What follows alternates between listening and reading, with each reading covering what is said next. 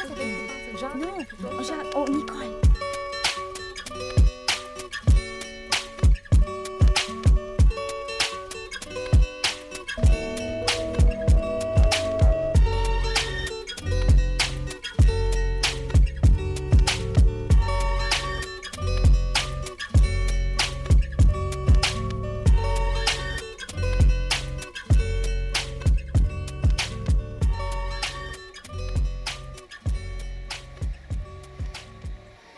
Hey there YouTube and welcome back to Breezy Reef and an updated vid on my 24 gallon nanocube mixed reef.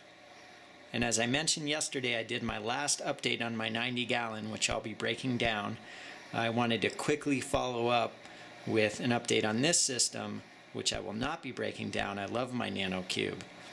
And uh, if anything to keep you guys interested in my channel and let you know I'm uh, still got videos coming and we'll be covering this tank. So there's actually quite a few changes going on. I had to look at my channel to see when the last video was. It's been just over four months since you guys have seen the NanoCube and quite a bit of time's gone by and a lot of changes. So what I think I'm going to do is do like a two-part video here. And in this video I want to cover some of the physical changes and things I've added to the system and then look for a follow-up video part two where I want to kind of talk about some issues that I've had in the tank. And some of which have actually kept me from doing updates on this system because I just haven't been too happy with it at times and had a couple of scares. So uh, I want to cover those and kind of how I made it through those and came to some resolution. So um, so it's going to be a two-part video and with that said, let's get started. So first up, guys, I'm pumped to show you a significant change in the functionality of this system, and that's the addition of this Vortec MP10 power head.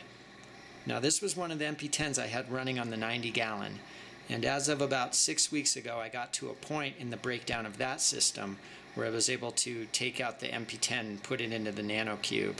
And it is incredible the difference it's making in this system. Uh, just the overall health of the system um, as a result of the improved water movement.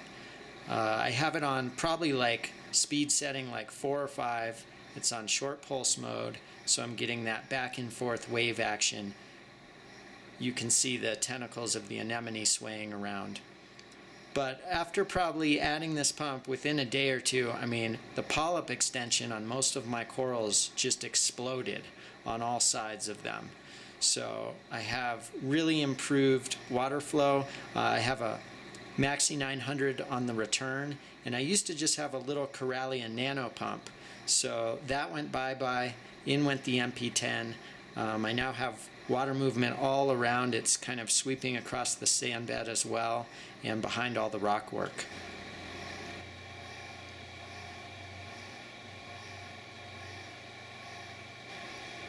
So on to the fish situation. Um, I checked out my last video and I actually still had the Desjardini in this tank um, recovering. And the story on that is it stayed in here actually about six or seven weeks, a little longer than I thought, but um, it settled in nicely and it actually made almost a full recovery by the time I got rid of it. Yeah, its fins were almost all the way regenerated. And um, I ended up running an ad on Craigslist. I actually offered the fish for free um, to somebody that had an established and large system for that fish. Uh, that was just my main concern is finding it a good home. So um, offering it for free, I had a gentleman come through within two days. He had a 300 gallon fish only with living rock. So that fish moved along and as fate would have it, um, there you go. I mean, you could see the fish I ended up keeping for my 90 gallon is the six line wrasse who I believe was the culprit in making that Desjardini Tang's life so miserable. So I am pretty attached to the six line though. I've had that fish for almost three years. It actually originally started out in the Nano Cube, uh, then was in the 90 gallon probably for two years. And uh, it was the one fish I also felt like I could uh, downsize it into a smaller tank. And it's just a beautiful um, pretty much mature, full-grown six line. And I thought it was kind of fitting because it was really a bully fish, which is in their nature. And when I ended up putting it into this system, that saddleback clown was already established in here. So the six line really had to adapt to him and uh, work around him. And um, I think you could see in that last clip, I mean, they still work it out. The six line doesn't back down by any means, especially now that he's been in there for a while. But they seem to get along fine. I mean, every now and then they kind of butt heads, but never any physical attacking of each other. And I think it's it's a nice pairing because the saddleback clown really stays close to the anemone, as you can see there. I mean, he just doesn't swim around the tank too much as opposed to the six line is the opposite. I mean, it's constantly perusing around, looking for stuff, checking everything out, swimming in and out of all the coral and rock. So um, it's kind of cool to watch these two fish in this system. And I am still thinking of adding a third fish. And my thoughts are something around um, a goby or something that would maybe work on the sand bed. I was thinking a two-spot goby. I know those are kind of tricky to do to, to keep alive, but I have seen those at one of the reef stores here in Albuquerque, and uh, was thinking uh, they're they're pretty fish, and it might be worth a shot. This is an established tank, so there's a lot of life in the sand bed, and uh, so just kind of thinking about that. To kick that around, but um, for now, just the six line and the uh, black saddleback clown.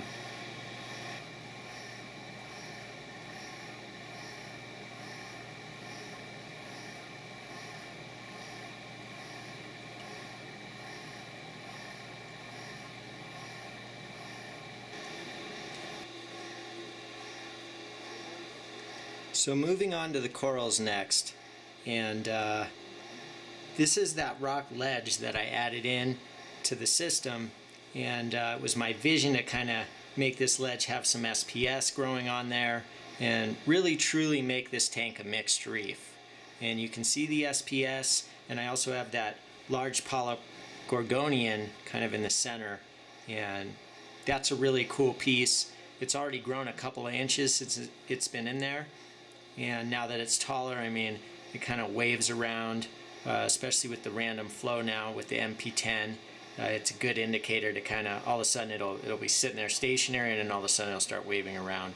So that's a cool piece. And also that piece I actually got from a buddy of mine who works at the New Mexico Natural History Museum in Albuquerque. And uh, they have a few saltwater tanks there. I got to go on a tour there recently a really cool setup. I got to see all the behind the scenes um, in their pump rooms and just everything they got going on there. And they have a soft coral tank there with gorgonians in it. And the mother colony of this piece is in their soft coral tank. So I was able to get this frag and uh, from him and put it in here. Um, so it's kind of a cool piece and you actually don't see this gorgonian very often, especially with polyps that large. I'll try to get a zoomed in shot, maybe uh, on, on a short clip before this video ends.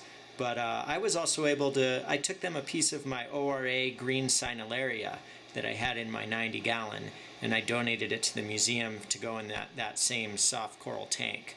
So kind of cool, I got a piece of uh, my coral going there uh, and I could always go by and, and uh, kind of fun, I can see one of my corals that I started from a tiny frag is, is going in um, the tank over at the museum.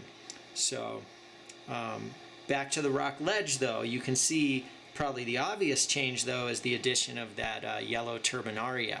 And that, that piece was from my 90 gallon and it's one of my favorite corals. And I wanted to try to keep that one and make room for it in here. So I ended up moving the frag of bird's nest used to be on the right and I moved it out to the point of that rock and was able to create room so I could have that turbinaria right there kind of front and center and uh, it's just a beautiful piece. It's probably seriously almost doubled in size. It's only been in here a couple months, but um, and it's also showing like much better color uh, than much brighter yellow than it was showing in the 90 gallon and all of the corals are showing really good growth and coloration um, good polyp, polyp extension so I think that's for a variety of reasons. I mean, I got that, that MP10 going now. I got really good water flow all around them. And uh, also, my water parameters are just, in my opinion, they've just been easier to keep on top of that and keep them stable compared to my 90 gallon. And uh, I wanted to also share with you guys uh, my dosing uh, schedule for this tank because now that I have these SPS corals and I also have the Crocea clam, um, I dose B-ionic and I'm dosing 5 milliliters of each every other day. And so it's a really easy routine. I just kind of do it when I feed the fish and uh, and I'm happy with it. I don't think I need to do any more than that. I mean these these corals are beautiful and uh, they seem very healthy. Um, the other thing is, is like this is a different LED light in this tank, and it's actually a, a, stronger LED. And these corals you're looking at right now are only about six inches underneath that light. So that might be another um, part of it. But uh, really happy with the way this is coming out and these corals are filling in. Uh, there's also one more little guy. Doesn't look like much, but there's a little mushroom there to the right of the turbinaria and uh, I had a number of different mushroom rocks in the 90 gallon and this was my favorite um, especially under the actinic blue you can't really see the the color here but um, once the blues kick on it's like a really bright purple background with orange on the front so um, I had a bigger rock of this I just chiseled off this one and uh, puttied it right there and it's fully recovered since I transferred it into this tank and I'm hoping it propagates and we'll kind of uh, fill in that area of the rock with a few more mushrooms.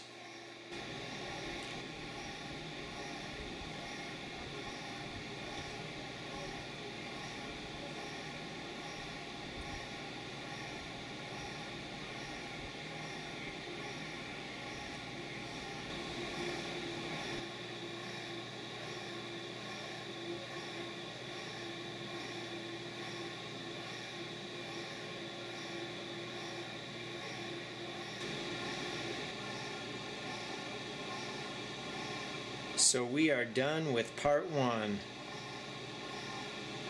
Uh, this will be a two-part update. Like I said, I'm going to follow this up with another video um, explaining some of the issues I ran into recently and how I got through those issues. So don't stay gone too long, and I'll be talking to you sooner than later.